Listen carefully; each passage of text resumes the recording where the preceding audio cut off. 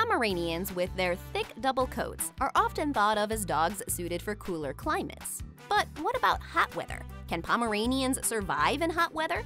The answer is yes, they can, but it comes with a caveat. These cute little dogs are pretty adaptable, but they do have their limits. In very hot weather, they can struggle. Pomeranians, with their luxurious double coats, are more sensitive to heat.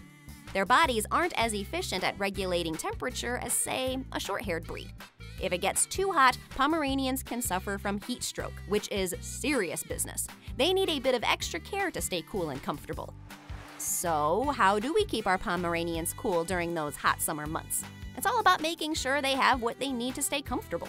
Starting with the most important thing water. Water is super important. Your Pomeranian needs constant access to fresh, cool water.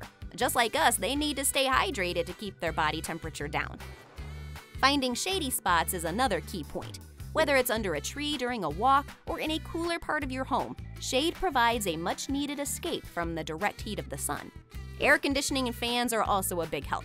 Keeping your home cool provides a comfortable environment for your Pomeranian to relax in. In the summer, it's a good idea to limit your Pomeranian's exercise, especially during the hottest part of the day. Maybe take walks in the early morning or later evening when it's cooler. Cooling mats and ice packs can be great tools to help your Pomeranian beat the heat. They provide a nice, cool surface for them to lie on and keep their body temperature down. Watching for signs of overheating is crucial. Panting, lethargy, and excessive drooling can all be signs that your Pomeranian is getting too hot. It's important to recognize these signs and take steps to cool them down. For more Pomeranian care videos, subscribe to our channel. Do check out these videos. See ya!